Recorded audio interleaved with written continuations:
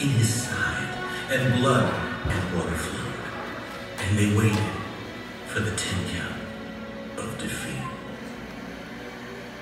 God the Father turned his head, his tears announcing Christ was dead.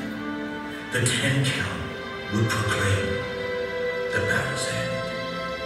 Then Satan trembled through his sweat in unexpected horror yet as God started the count by saying, 10.